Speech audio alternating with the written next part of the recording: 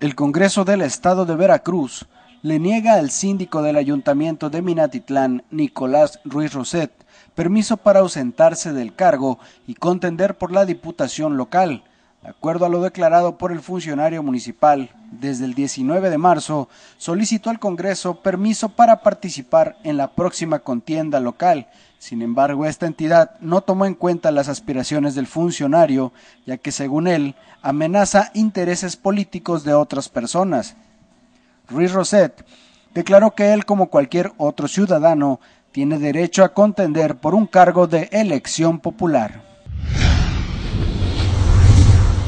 Yo lo que quiero es que me, den, que me den la oportunidad como se la están dando a todos, como que tenemos ese derecho, ¿verdad? Y ya estando en la mesa de diálogo, yo soy leal a mi partido, siempre he sido leal, seguiré siendo leal. Si en este momento no me favorece el poder ser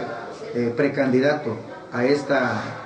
a, este, a esta nueva elección, pues me sumaré a la persona que sea, pero creo que debemos estar en igual de circunstancias, porque aquí se ve la mano negra de que no me dejan participar y que quieren quedarse una persona con esa posición.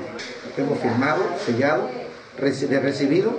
y bueno, yo consideraba, ayer hubo la sesión donde se fueron bastantes eh, este,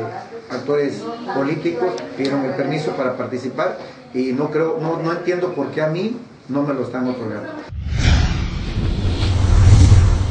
Y es que Nicolás Ruiz Roset comentó que con esta situación su partido, el PRI, no está valorando el trabajo político y social que ha desempeñado a lo largo de los últimos años, sino por el contrario, le niegan esta oportunidad a quien lo respalda la población. Creo que el mensaje hacia mi partido es muy claro, he trabajado, tenemos capital de trabajo que hemos hecho ante los ciudadanos, tenemos el capital político necesario para sumarnos a, los candidatos que vayan a ser tanto la presidencia municipal como la diputación local, pero también tenemos esa organización que nos respalda y que hemos ayudado a muchas colonias de Minatitlán en arreglar sus calles, en rellenar sus predios, en hacer colonias nuevas de gente humilde que está llegando. Yo creo que si no valoran ese capital político que uno trae, bueno, ya estará del partido, ¿qué pasará el próximo 7 de julio en las urnas?